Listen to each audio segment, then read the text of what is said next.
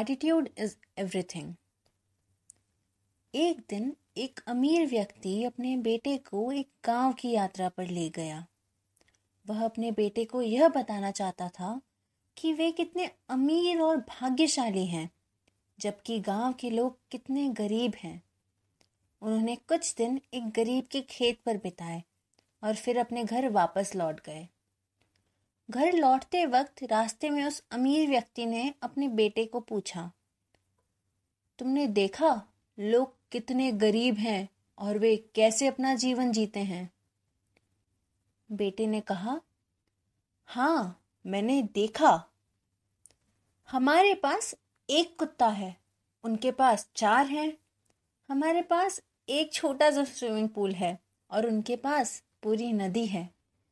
हमारे पास रात को जलाने के लिए विदेशों से मंगाई हुई कुछ महँगी लालटेन है और उनके पास रात को चमकने वाले अरबों तारे हैं।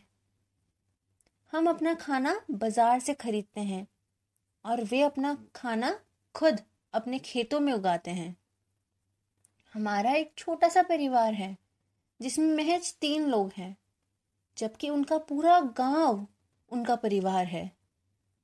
हमारे पास खुली हवा में घूमने के लिए एक छोटा सा गार्डन है और उनके पास पूरी धरती जो कभी समाप्त नहीं होती।